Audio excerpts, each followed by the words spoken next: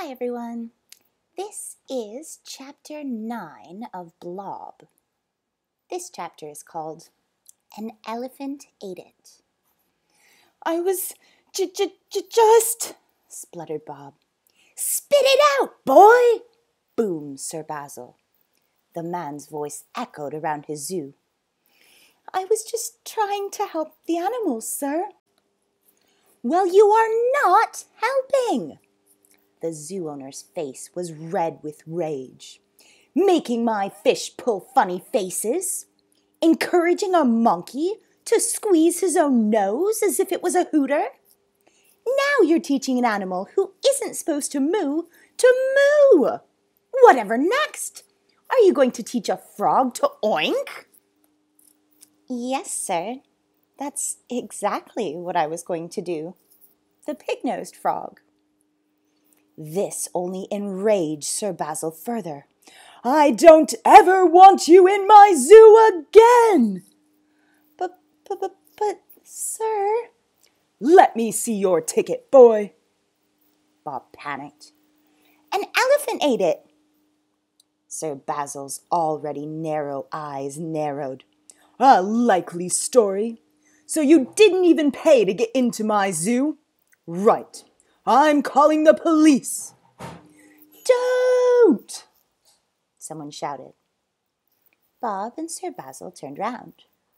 Winston the zookeeper was standing just a few paces, away, a bucket of fish in his hand. How dare you shout at me? bellowed the owner. Uh, I- I'm sorry, sir, spluttered Winston. He was nervous of Sir Basil, as was everyone who worked at the zoo. But I had to explain. There's no need to call the police. Why not? This nasty little runt has sneaked into my zoo without paying. The boy looked up at the zookeeper. He didn't know what to say or do. Mr. Bob didn't sneak in, replied Winston. Then would you care to explain how he got in here without a ticket? Was silence for a moment before the zookeeper mumbled, I let the boy in for free. You are fired, bellowed Sir Basil. I want both of you out of my zoo this instant. Please, please, please don't sack him, sir, pleaded the boy. Winston loves these animals. I don't care. Out! The friends shared a despairing look. Then Winston and Bob made their way towards the front gate as the crowds of visitors looked sadly on. I am so sorry, said the boy. It wasn't your fault, Mr. Bob, replied the ex zookeeper. Bob bowed his head as he held on to the old man's hand.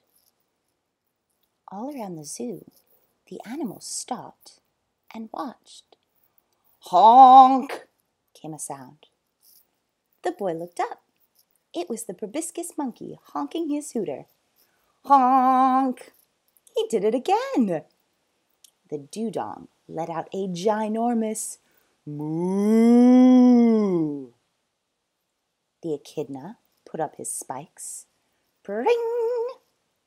The elephant seal trumpeted through his trump. Papa! The snapping turtle snapped again and again and again. Snap, snap, snappity snap. The Komodo dragon roared the biggest dinosaur roar she could. It would have frightened a Tyrannosaurus rex.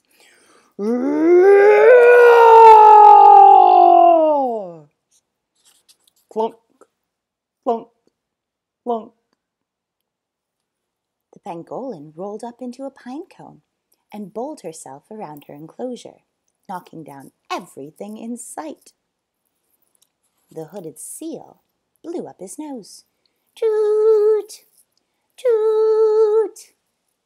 The marabou stork dingle dangled his dingly dangly neck. The warthog snorted. Whumph! The cone nose to peer put her cone nose as high as she could in the air. Twang!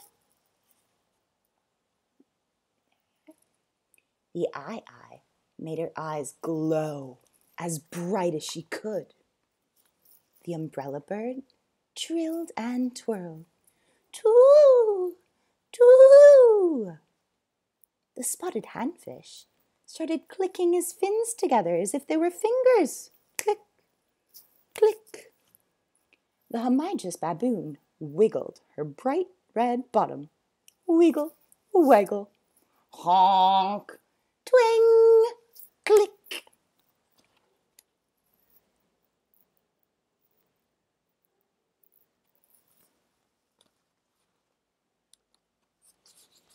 The sloth, however, remained perfectly still. As for the blobfish, he swam up out of the water with all his might and performed the most incredible jump. At the highest point, he stopped still for in the air for a moment and let out a ginormous before splashing back down into his tank with a massive splosh.